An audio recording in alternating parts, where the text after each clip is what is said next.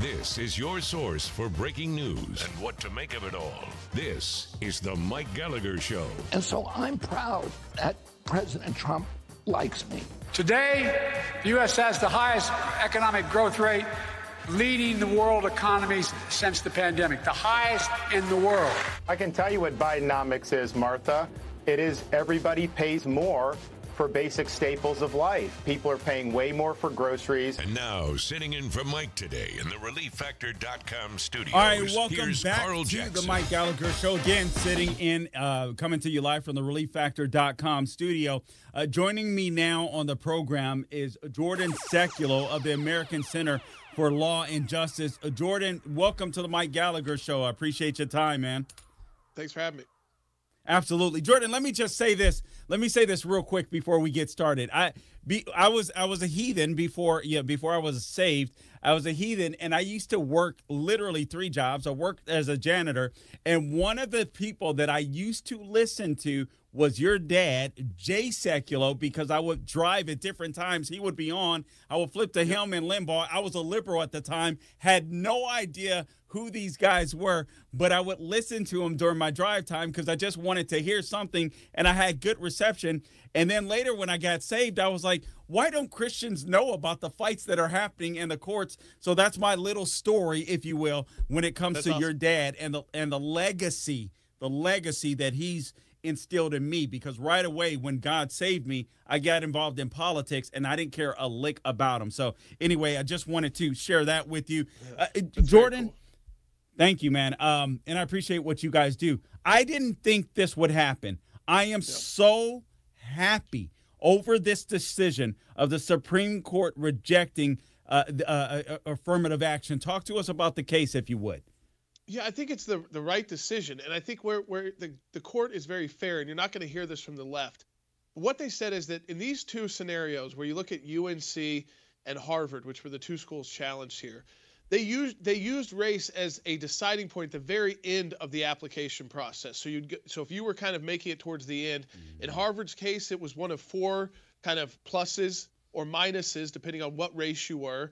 And then in the UNC case, it could literally be the decisive reason why someone does or doesn't get in. And what the court says, race can't be used as a negative. And it's a negative even if you're letting someone else in because of their race, it's a negative to someone else. And here, I think where it finally opened the minds of the court is that uh, they've always said with affirmative action, even in the last case, uh, which was back in 2006, that at one point this needs to come to an end. We're only okaying this for now because uh, there have been issues of discrimination in the past that need to be addressed. That's what these schools are doing. But eventually, this is not going to survive constitutional muster. And once these Asian students finally challenged and said, hey, we are a minority, but being part of our minority, uh, because we happen to be doing well academically, is used as a as a strike against us in these universities. And so the court woke up and said, you know what? This is a total violation of the Equal Protection Clause. It doesn't survive the strict scrutiny of the Constitution. And so, in, in fact, this does away with the broad based kind of just affirmative action based off you get a plus, you're in if you're if you're this race, you're not if you're if you're the other race. You know, one of the reasons why I think this is a good thing, Jordan, is because, in my opinion, it ends what the left would always call institutional racism. I think this is a form, or was used as a form of institutional racism. Uh, you know, uh, uh, you would get in based upon your race and not based upon merit. But other people, just as you mentioned, like the Asians that brought the case, they they would be denied. Whites that would be denied, and people, honestly, that should have jobs or not have jobs as a result of being accepted into certain colleges and universities. Yeah, and I think what what is cool about this decision, and for everybody listening, is that they, they didn't say that like for an individual, if you wrote your essay, depending on what the essay was on, but let's say they asked you to write about you know your personal experience in your e- education or growing up. Tell us about you know your background. Of course, someone reading that is going to take into account uh, if you had if you had uh, barriers that you overcame. That's actually the word used in the in the in the decision. So it's not that your background is not going to be important in the admissions process. It's that you're not going to get this generic plus or minus just because you happen to be black or happen to be white or happen to be Asian. that if it's part of this larger story that you have put together in your application, of course that can be considered as your as the overall person that is applying. And that this that of course schools have an interest in diversity as well, but they can't just have these policies like like you're talking about where you just get in because uh, and you beat the other student out solely because of the color of your skin. Do you think that this will do much for true diversity on uh, college campuses? And when I say diversity, I mean diversity of thought.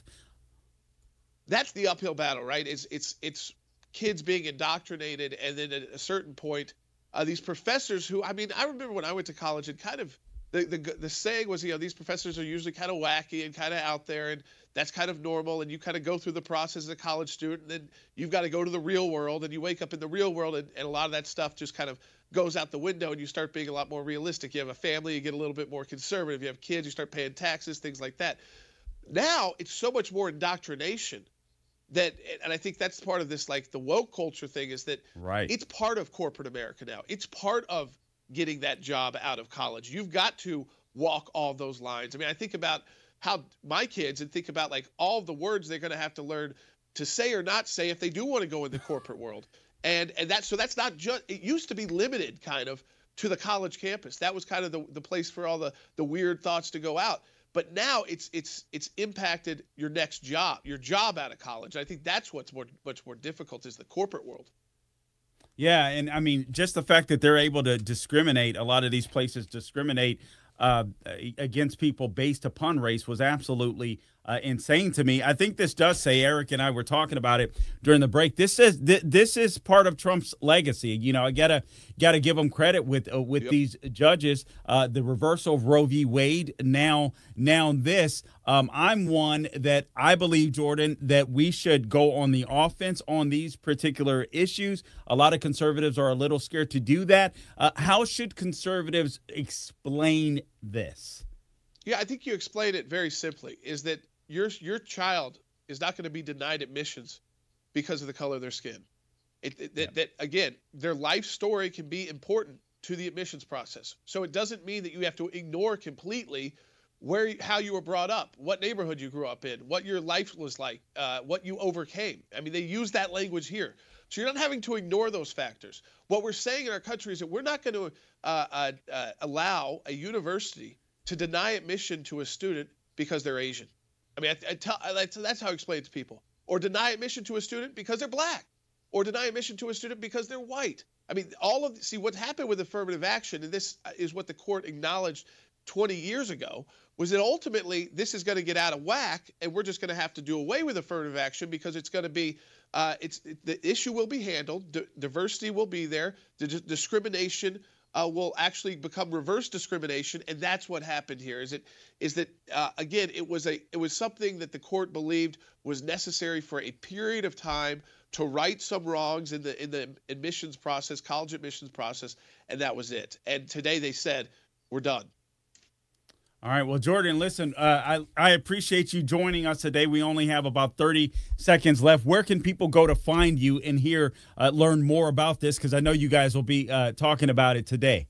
Yeah, we will. So we'll be on the Sekulow broadcast. That's at aclj.org. We're on the Salem uh, uh, network as well. Uh, so, and again, we filed it in this case so people can read our, we'll have a blog up in our brief as well at aclj.org. They can find out more about us there. Jordan Sekulow of the American Center of Law and Justice. Thank you so much. Thanks for the work you guys do too, man. I really do appreciate it. God bless you guys. Thank you. Thank you.